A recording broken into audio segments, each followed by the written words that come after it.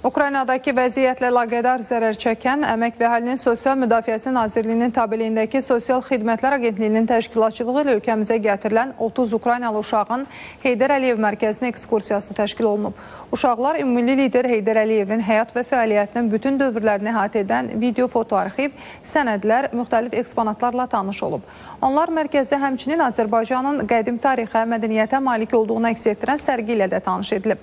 Qeyd edək ki, bundan əvvəl Ukraynalı uşaqların İsmayıllı, Qəbələ, Şəki və Şamaxı ekskursiyaları təşkil olunub. Ukraynalı uşaqlar 14 günlük sosial reabilitasiya proqramı çərçivəsində art terapiya və peşəkar psixoloq tərəfindən fərdi və qrup terapiyalarına cəlb edilib.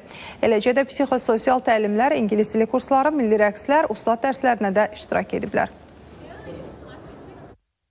Здесь э, очень красиво, все совмещено исторически и современной архитектурой. Burada Heydər Əliyev mərkəzində hər şey çox gözəldir. Tarix və müasir memarlıq üslubunun bir araya gəldiyini görürük. Zənnimcə Bakı ən gəzməli, görməli yerlərdən biridir. Bu günlər ərzində biz Qəbələdə olduq. Azərbaycanı gəzmək möhtəşəm hisslər yaradır. Burada olmağıma çox şadam. Пришли в этот музей, э, очень много реликвий и историй, связанных с Азербайджаном.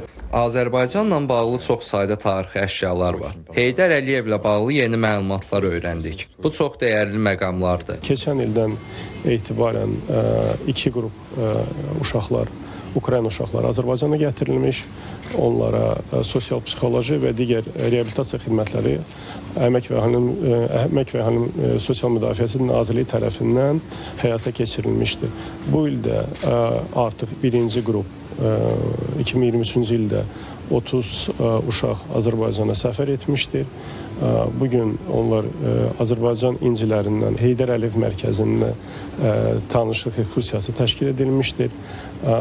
Növbəti bu kimi tədbirlərin həyata keçirilməsi hər zaman diqqət mərkəzində saxlanılacaqdır.